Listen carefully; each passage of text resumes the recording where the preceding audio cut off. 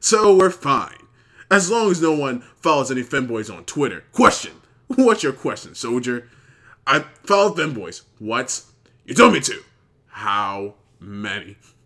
I've done nothing but follow femboys on Twitter for three days. Who? Who have you been following?